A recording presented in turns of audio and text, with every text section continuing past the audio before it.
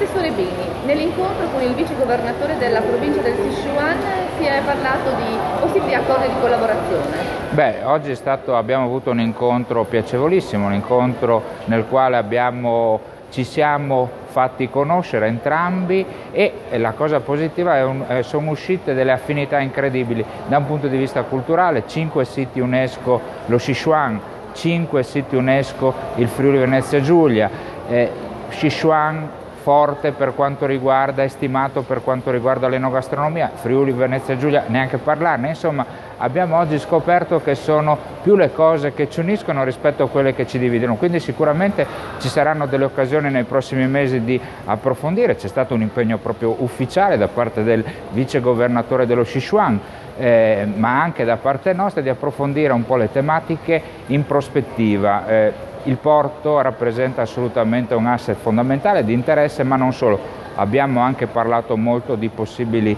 sinergie da un punto di vista turistico. Non dimentichiamoci che la provincia dello Sichuan ha circa 90 milioni di abitanti una piccola percentuale in vista del Friuli Venezia Giulia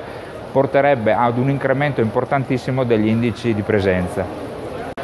Zero D'Agostino, oggi nell'incontro con il